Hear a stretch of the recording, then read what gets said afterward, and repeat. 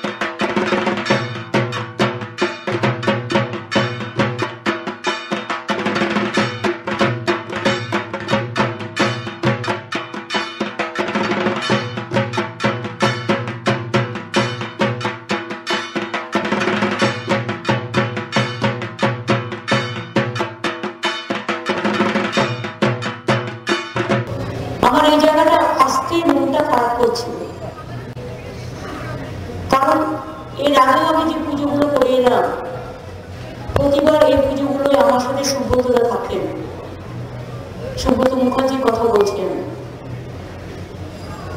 পুজো আসতেই শুধু আমার পেছনে লেগে থাকতেন কি আমার এবার দিনের টাইম দেন আগে তো আমার কারও টাইম নেই, কবে দিবি টাইম বল? যতক্ষণ টাইমটা পাওয়া না হতো, ততক্ষণ পুরো পেছনে পড়ে থাকেন আজকে আমরা সবাই হয়তো আছি। কিন্তু এই মানুষটার এত তাড়াতাড়ি চলে যাওয়ার কথা ছিল না।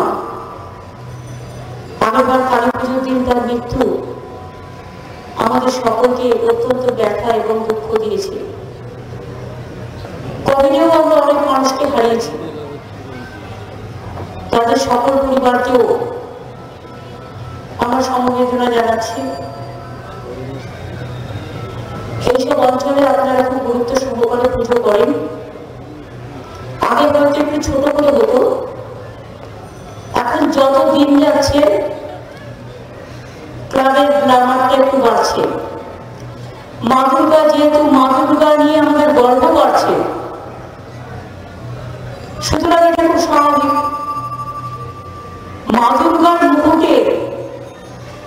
যত পালক আমাদের পুজো প্রতিষ্ঠানগুলো তত বেশি হবে। পেলামই এছাড়াও world best destination of tourism Bengal declare হয়েছে। पुनर्विभेषण से थोड़ा उठेंगे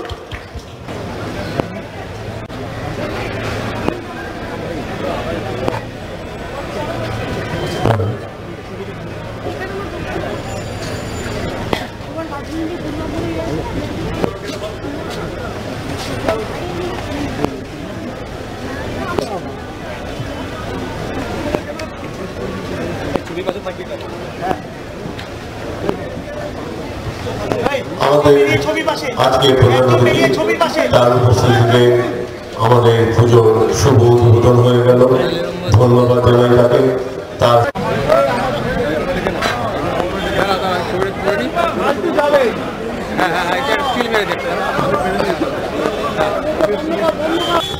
আমরা সারা বছর আমাদের সুখ দুঃখে পেতাম। আমার পার্সোনাল বলুন বা কোনো পাড়ার লোকের কোনো প্রয়োজন হলে ওনার কাছে অ্যাক্সেসটা খুব ইজি ছিল। আর ওনার যা এক্সপিরিয়েন্স ওই এক্সপিরিয়েন্স আজকে দিনে পাওয়াটা খুব ডিফিকাল্ট ডেফিনেটলি আমরা অনেক মিস করব সুব্রতদাকে পুজো বলে নয়, সারা বছরই অন্যান্য কাজেও মিস করব।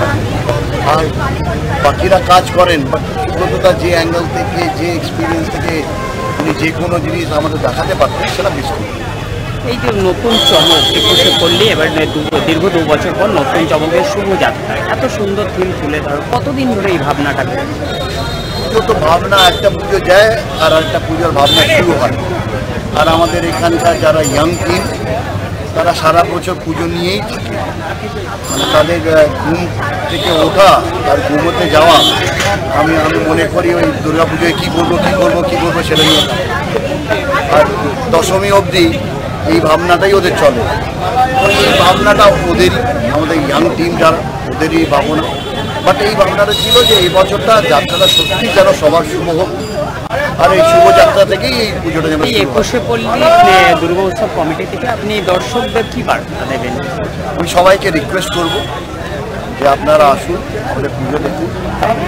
আমাদের এখানে মানে ঘরোয়া টাইপের পুজো ফ্যামিলি টাইপ অ্যাটমসফিয়ার আনন্দ করবে মজা পাবে। এখানে থিমটা হচ্ছে শুভযাত্রা আহ, আমরা বাঙালিরা প্রচণ্ডই ভ্রমণপ্রিয়। ভ্রমণ পিপাসু সবসময় আমরা চাই যে আমাদের এই বন্দি দশা থেকে একটু বেরোতে। তো দু বছর ধরে আমরা যে ফেজটা কাটিয়ে এসেছি, তো তখন আমাদের মনে কখন মনে হচ্ছিল যে কখন আমরা একটু বন্দি দশা থেকে বেরোবো। তো এখন যেহেতু আমরা একটু নর্মাল লাইফে ফিরে এসেছি, তো আমাদের মনে হলো যে এইটাই বেস্ট টাইম এই মানে থিমটাকে এক্সিকিউট করা চলছে মানে লাস্ট ছ মাস ধরে তো চলছে পুরো প্ল্যানিং থেকে এক্সিকিউশন অবধি ধরতে গেলে একটা স্প্যান অফ সিক্স মান্থস তো আছেই আজ থেকে কি তাহলে দর্শক এসে দেখতে পারবেন না আমরা আগামী আঠাশ তারিখ থেকে মণ্ডপ ওপেন করছি শুভদীপ মজুমদার। ভীষণ ভালো লাগছে। আসলে এই দু বছর আমরা এমন প্যান্ডামিক সিচুয়েশনে কাটিয়েছি যে আমাদের উৎসবের যে মুহূর্তগুলো আমরা সেগুলোই ভুলে গেছি। তো ভীষণ ভালো লাগছে যে দু বছর পর আবার নতুন করে আমরা বাঙালিরা আবার সেই উৎসবে মেতে উঠলাম। তো খুব ভালো লাগছে। যেন এইভাবেই আগামী দিনগুলো যেন এইভাবেই দেখতে পারি।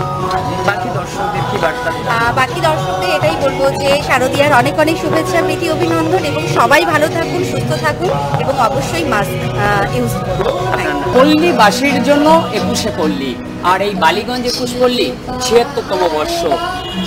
আর এই ছিয়াত্তরতম বর্ষে রাজ্যের মাননীয় মুখ্যমন্ত্রী মমতা বন্দ্যোপাধ্যায় কিছুক্ষণ আগেই এসেছে।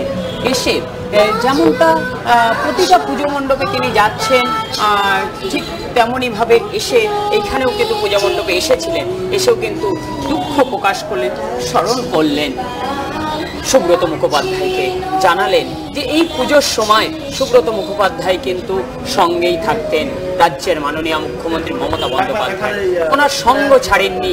বিভিন্ন বিষয় নিয়ে রাজ্যের মাননীয় মুখ্যমন্ত্রীর সাথে পুজো এলেই কিন্তু কথাবার্তা আলোচনা করতেন। আর সেই সুব্রত মুখোপাধ্যায় আজ নেই। যেমনটাই স্মরণ করলেন মাননীয় মুখ্যমন্ত্রী মমতা বন্দ্যোপাধ্যায়, সুব্রত মুখোপাধ্যায়কে নিয়ে। তেমনটাই জানালেন সকলকে পুজোর প্রীতি ও শুভেচ্ছা এবং পল্লীবাসী জন্য জানালে একুশে পল্লী, বালিগঞ্জ পল্লীবাসীকেও জানালেন শুভেচ্ছা। একই সাথে রাজ্যের মাননীয় মুখ্যমন্ত্রী মমতা বন্দ্যোপাধ্যায় যেমন ছেলেদেরকে জিজ্ঞাসা করা হয়েছিল, পাঞ্জাবি দেওয়া হয়েছে কিনা, ঠিক তেমনি জিজ্ঞাসা করা হয়েছিল, মেয়েদের শাড়িগুলো ঠিকঠাক করা হয়েছে কিনা, তারপরেও কিন্তু নিজের নিজের হাতে ফুলের ছবি এঁকে কিন্তু সবাইকে চমক দিয়ে গেলেন রাজ্যের মাননীয় মুখ্যমন্ত্রী মমতা বন্দ্যোপাধ্যায়। ক্যামেরায় অভিরামের সঙ্গে সুমিতের report, twenty four hours TV, Kolkata. এই অনুষ্ঠানটি নিবেদন করছে বিদ্যা মন্দির ক্লাসেস। এই অনুষ্ঠানটি নিবেদন করছে Ruby Park public school new Alipore.